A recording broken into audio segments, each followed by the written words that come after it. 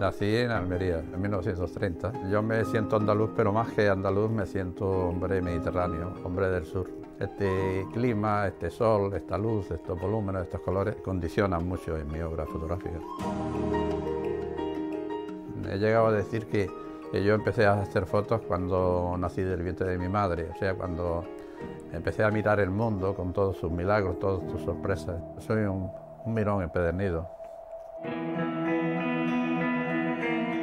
Al principio, era en la posguerra, era imposible vivir de la fotografía y se tenía que alternar con otra profesión. Estuve trabajando durante bastante tiempo en un banco, pero los fines de semana y esas cosas pues lo utilizaba para hacer fotos. Ya empecé a dejar lo que era el trabajo, compré mi libertad y me dediqué exclusivamente a la fotografía.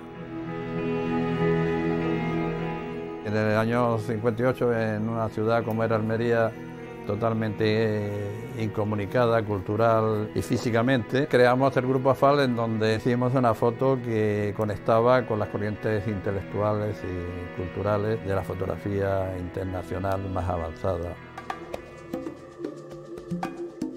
Yo más que un artista soy un descubridor, un hombre con los ojos muy abiertos. Y no me gusta modificar las imágenes, mis fotografías son a cámara limpia. Y capto los momentos psicológicos o la forma en su postura de los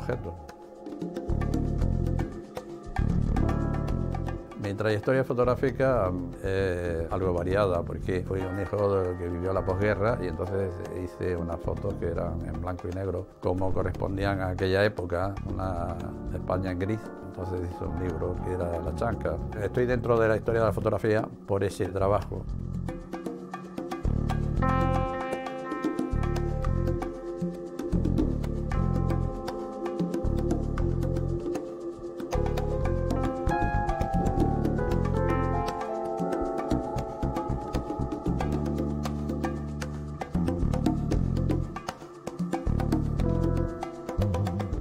Fue maravilloso porque yo me di cuenta que efectivamente mi labor había sido una labor de dignidad hacia esas personas. No, no trataba de, de denuncia ni de destruirlas, sino más bien de exaltarlas dentro de su humildad.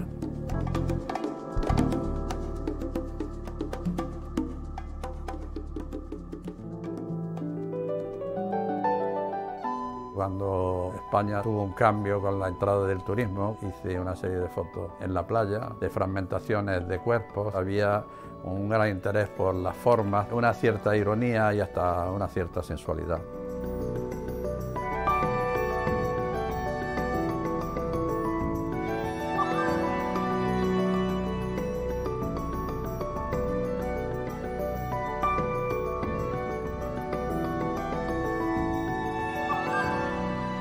Mis fotografías quizás tengan una cualidad y es que son intemporales. Yo soy un hombre mediterráneo, pero muy purista. Un cielo, un mar, una playa, una figura, eso es suficiente para mí, eso alimenta mi espíritu. Trabajo en, cámara analógica, de todas formas mis fotos estaban dentro de lo que se está haciendo ahora mismo con lo digital. Y entonces vienen a ser un cordón umbilical entre la foto analógica y la foto digital, porque ahora ya se pueden hacer muchas trampas, entonces la fotografía ha perdido su poder primario que era la veracidad. Son tres estados. Cuando haces la foto, cuando la foto te viene después revelada y luego otra cuando la foto ya te la publican en un buen medio. Entonces eh, tiene algo, algo de erótico. ¿no? La fotografía me ha servido para retener los momentos de intimidad, los momentos más positivos de, la vida. Y yo creo que en esta comunión ha salido mi obra. Lo que hay que hacer en la fotografía es sobre todo ser personal, o sea, que te distingan cuando tú haces una foto, eh, te distingan de los demás y digan, esta es una foto de Pérez Izquierdo.